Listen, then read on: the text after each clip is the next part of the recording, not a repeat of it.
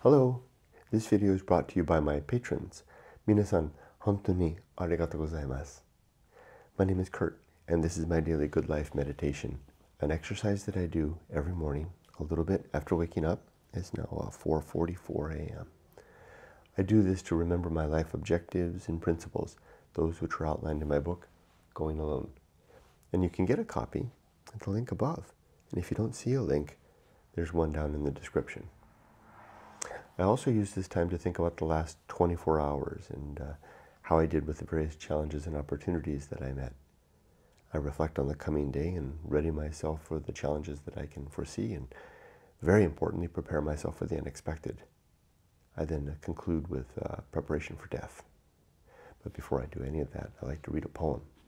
Today uh, we're going to read from John Keats a rather challenging poem called Character of Charles Brown. Yes, Charlie Brown. Um, this one's tough. It's the majority. I mean, look at all the uh, pink. Those are all vocabulary that were new to me that I had to look up as I prepared for today. Um, let's go over the vocabulary and then I'll um, read the poem and we'll see if this comes out and makes any sense. It's a tricky one. Uh, there's a word weet, which means to know, W E E T. Carle is a, a, man of low birth, C A R L E. Parley, P A R L E, is a conference, sometimes a uh, like a war conference. A zephyr is a mild breeze. Here's a just I just want to point out here's a here's one sentence that I really like or a sentence fragment. No one had touched his cheek with no care had touched his cheek with mortal doom. Mm, I like the language there. There's something called a wassail and a wassail bowl. Wassail apparently is a type of alcohol drink, um, and a wassail bowl was a that you drink it out of, and it was a comes from an old English ceremony to um, like a harvest ceremony, drinking out of the wassail bowl. I'm pro probably not pronouncing it right. Ribalds is um, a cure, obscure or crude and crude speech. Lemans um, are lovers. The scorner's chair is like we would say something in a modern sense. We would say like a, um, uh, armchair quarterback. a scorner's chair is like you know someone who's you know hurling criticism from their chair. Tipping the wink.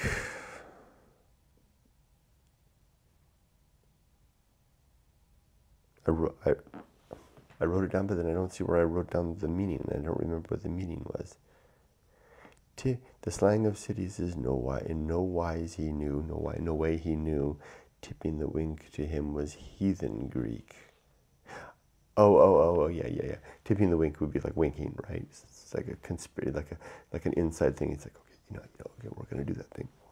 He, and this guy, he, the person he's talking about, is so he's oblivious. He doesn't get it. Well, what? Got something in your eye? Tipping the wink. Ruin. Okay, and then he talks about different various types of alcoholic alcohol drinks. Um, Old Tom, I guess, is a type of beverage. Ruin Blue is an interesting type of beverage. I've never heard it called Ruin Blue. It's, I've heard it as Blue Ruin, which is gin, which in the, I think it was in the 18th, 19th century period, um, there was really no regulations on gin, and it was made in a horrible way, practically poison, very cheap form of uh, alcohol, alcoholic beverage that you could get in in, in gin gin parlors in England, um, and it was so full of poisons that it would uh, to make you drunk that if you drank enough of it, you would literally literally turn blue, and it would kill you. I think they also called it mother's ruin or something like that. Blue ruin, ruin blue in this case. Nance is a word for brandy. Meek is a type of I think it's like a like a meaty beer or something like that. Um, per, Purlieus, P U R L I E U S, is an outlying area. It comes from back in the old days when the king's forest surrounding his castle, the king's property, and it now refers to kind of an outline, outlying area. And then a term here, curled Jewesses, which I couldn't quite look up. It may mean just, you know, Jewish women with curly hair. unless it probably unless it has some other archaic meaning. That's a lot of new vocabulary. Let's give this a try. I haven't. This is my first time to try to read this one through without stopping to figure things out. Character of Charles Brown. He is to weet a melancholy carle, thin in the waist, with bushy head of hair, as hath the seeded thistle when in power. It holds the zephyr, ere it sendeth fair its light balloons into the summer air. Thereto his beard had not begun to bloom, no brush had touched his chin or razor sheer, no care had touched his cheek with mortal doom, but knew he was bright as but knew he was bright and knew but knew he was and bright as scarf from Persian loom. I, couldn't get that right. ne cared he for wine or half and half, ne cared he for fish or flesh or fowl, and sauces held he worthless as the chaff. He disdained the swineherd and the wassail bowl, Nay, with lewd ribald sat he cheek by jowl, Nay, with sly lemans in the scorner's chair. But after waters brooks, this but, but after water brooks, this pilgrim's soul panted, and all his food was woodland air, though he would oft times feast on gillyflowers rare. The slang of cities in no wise he knew, tipping the wing to him was heathen Greek. He tipped no olden Tom or ruin blue, or Nance or cherry branded drink, full meek by many a damsel, horse and rouge of cheek, nor did he know each aged watchman's beat. Not in obscured purlieus would he seek for curled Jewesses with ankles neat, who as they walked abroad make tinkling with their feet lovely. I don't get it. I mean, I don't think I get anything. Something about a guy, you know, melancholy guy of low birth with um, a young man. His beard hadn't quite come in, and he doesn't care for food or drink, and uh, he doesn't under. He's stupid. He doesn't understand anything um, stupid is a strong word, but he says he doesn't understand. You're winking at him. You get it, get it. No, I don't get it. Right? He doesn't care about uh, Blue Ruin, about what lovers have to say. He's not interested in. Uh, he didn't know anything about what the old Watchman does, and uh, nor and he doesn't even care about women. That's what that part is. Nor in obscured purlieus would he seek for curled Jewesses with ankles neat. So I guess he's a man, a young, young, ignorant, teetotaler man that doesn't give a damn about anything. I think that's that. Maybe I'll read that one again tomorrow, just to have another pass at it. I like that now that I studied it a little bit. That was fun. Let's do the good life. First last night and yesterday. Um, Yesterday was my Friday on. Uh, I get every other Friday off. Status report day. It's my first status report for my big project. Um, it took the whole friggin' day to prepare for that status report. I had a meeting with the vendor project managers in the morning, which was really good because they we aligned on the messaging, and I, we were able to put together then the the status report recipients list. Um, went over the, the 10 items of risk, went over the 27 items of scope. Perfect alignment between the three, three of us. Um, that's good. When the PMs on both sides agree to everything, we're in good shape. Then it's a matter of just uh, constraining the team to the, to the goal at hand, right? So that's good. Hopefully that sets a good precedent. And every, by every two weeks, they'll have a nice status report like that. The sponsor will, and I CC'd the entire team, all all stakeholders involved, including the vendor stakeholders as well. I was kind of surprised that they offered that. I would have thought that they would want the status to come from them. Hey, why is that? Why is that customer sending out your status report? uh, yeah, it was a good day. Oh my gosh, I had a nice swim yesterday. At the beach. I went out and I swam into deep water. The waves were breaking deep out beyond a kind of a, there was kind of like a reef of sand.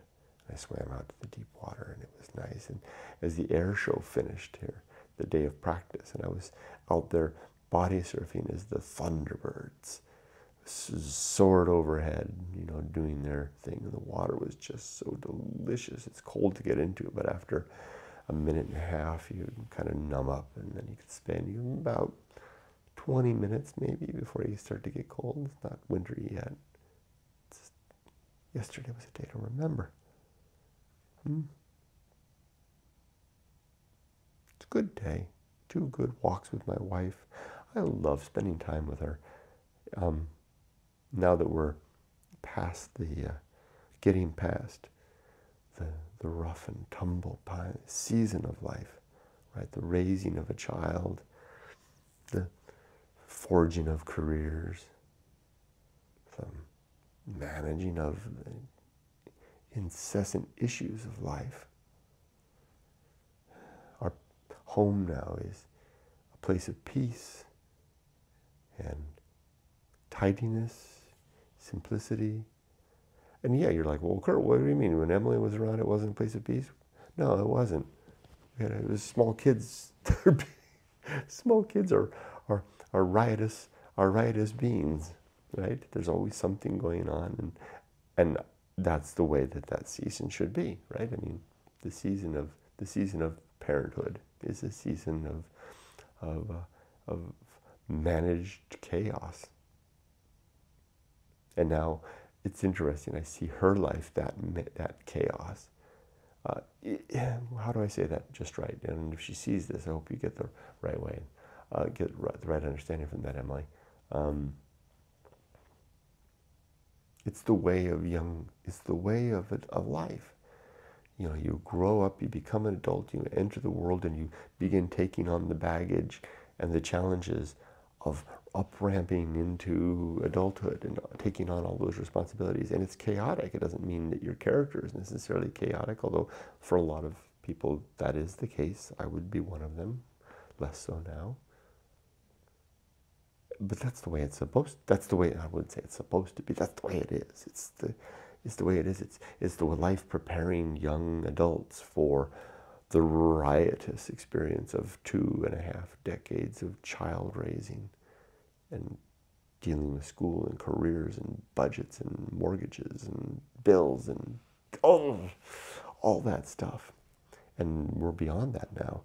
What's coming next is, is, is ruin, right?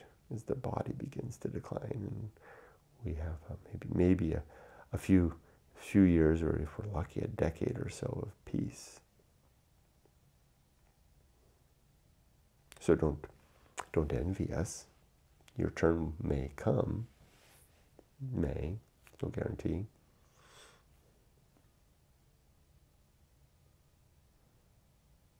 It's a season. Let's do the Good Life Creed. There are eight objectives as follows.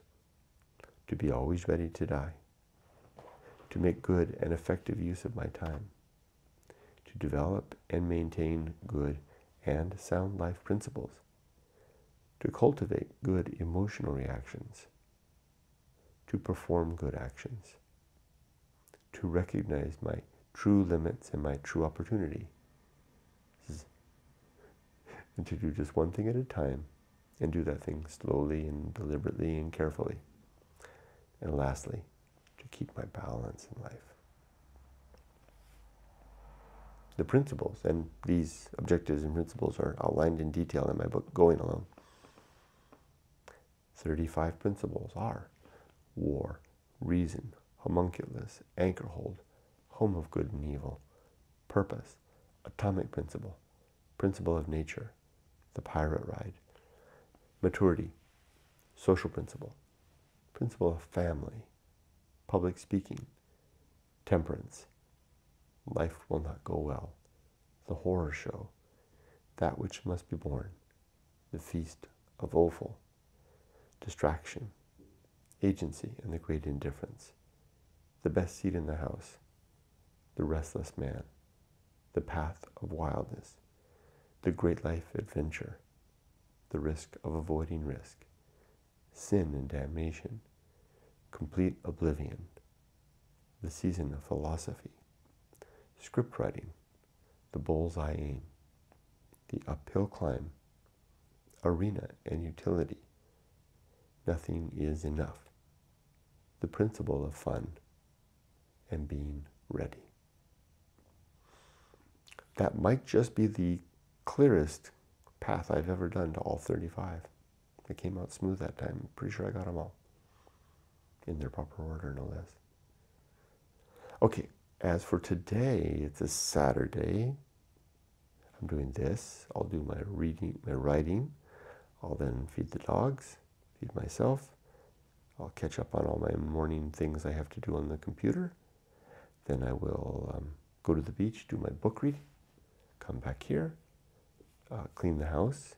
Yumiko and I will go have lunch. Then we'll do our shopping. I need to buy a pair of jeans. Do I really want to buy a pair of jeans? I need to buy a pair of jeans. You know I've got that one pair of pants I can wear. Yeah, I'll just do that. I don't want to buy a pair of jeans. I don't want to. I don't want to be a person who owns jeans. Nothing against jeans. Just that. Okay, something against jeans. it's my own personal, my own personal bias against jeans that I didn't realize I had until now. Comes from the time of life when I wore jeans, and I, I have my my um, mind isn't fond of that period of life.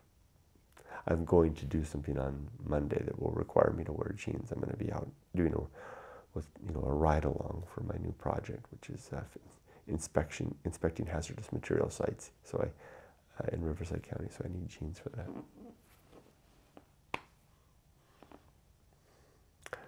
Mm, what else? I'm excited about that, by the way. Oh, am I ready for death? Are my affairs in order? Yes. Is my life's work complete? My daughter's raised? Nearly. And my book is done, yeah. And are my relationships sound? They are. I hope I can continue to live another day and maybe a little longer than that. But if today's the day, then that's fine. I will die without looking back. Go into oblivion. I'll stop there. I wish you all the best. Be safe, but not too safe. Take care.